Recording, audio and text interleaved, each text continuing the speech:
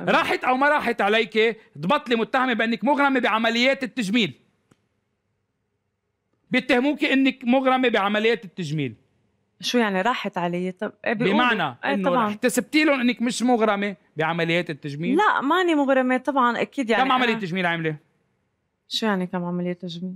شو يعني؟ دائما بنسأل هيدا السؤال يعني كل العالم بتعمل مش بس أنا بس أنا يعني ها مبين علي إني كثير أنا بعمل تجميل؟ لا لا أنا أنا للأمانة لا. يعني أنا ما للأمانة كثير أنا منه بالعكس. هال منه هالشيء الأوفر؟ أنا بحب- شو عاملة؟ عملت أنفي. كل بطل كل ما بطلع لي بقول لهم عملت أنفي. آه كل بس ما استفدت. ليه؟ ضل مثلا مثل ما هو. هيك كان؟ مثلا إذا أنت بتقبلي يحطوا صورة قبل وبعد؟ إيه ما بيفرق بالعكس يمكن قبل أحلى. فينا نشوف؟ إيه طبعا يلا فرجونا صورة.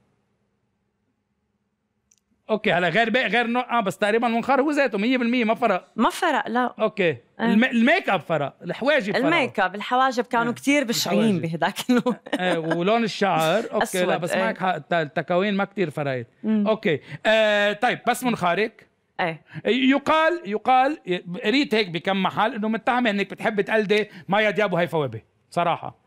بمرحلة من المراحل كنت حابة تقلديهم بالشكل. أنا بموت عليهم وهيفا بالذات okay. يعني بموت عليها. بس ما ب... أنا لما كان شعري أسود بهيدي المرحلة اللي ورجتني كانوا يقولوا إني بقلد هيفا. كنت حط هيك make up أسود وهيك وبحبها مغرمة فيها بس ولما عملتي أشعار قالوا مايا دياب ولما عملت اشقر قالوا ما أنت مين عم تقلدي هيفا ولا مايا دياب لا أنا ما بقلد. مم. يعني أنا بحبهم بس أنا بعمل الشيء اللي بيلبق لي. يعني اليوم هلأ مايا تعمل شعرها بينك وأنا ما بيلبق لي. مثلا أكيد ما حروح أعمله بينك